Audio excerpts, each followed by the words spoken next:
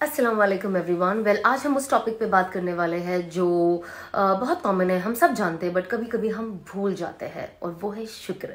शुक्र करना बहुत बहुत बहुत ज़रूरी है। जैसे एग्ज़ाम्पल जब दुनिया में दुनिया में जब कोई दुनियावी चीज़ हमारे लिए कर देता है।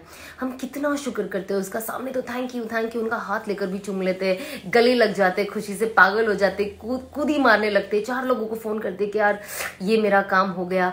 और साथ ही साथ कभी कभी जो हमारे लिए कुछ करता है, उसको हम ज़ुबानी तो कहते ही है बट फिर उन्हें फ़ोन पे हम कहते ही हैं।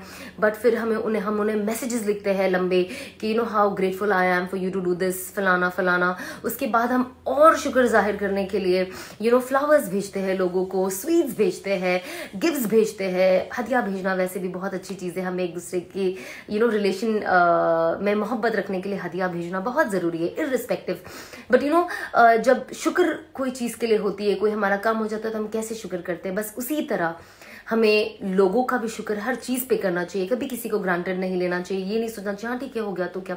हमें हर इंसान का शुक्र करना चाहिए, चाहे हम पैसे दे के भी क्यों ना काम कराए बट शुक्र करना बहुत ज़्यादा ज़रूरी है, क्योंकि वो आपके दिल को नरम रखता है वो आपको सॉफ्ट रखता है और वो आपको एक रिस्पेक्टफुल इंसान बनाता है आपके दिल में मोहब्बत रखता है।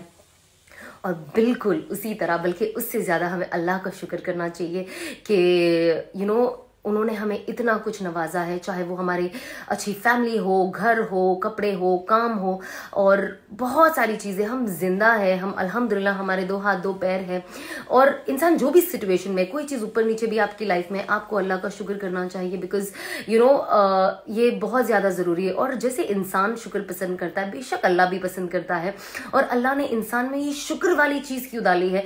क्योंकि अल्लाह चाहता है कि इंसान हमेशा नरम रहे और इंसान इंसान के बीच में मोहब्बत रहे, इसीलिए शुक्र करो, क्योंकि शुक्र भी एक अच्छे अखलाकों में से एक अखलाक है, जो अल्लाह बहुत पसंद करता है।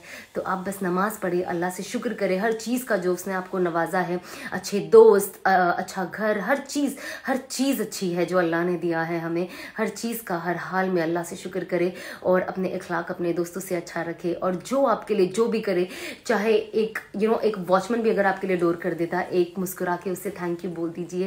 और वो इतना खुश हो जाएगा कि बस तो हमें एक अच्छा इंसान बनना है, हमें ये शुक्र का अखलाक हमारे अंदर डालना है और लोगों की खूब मदद आना है।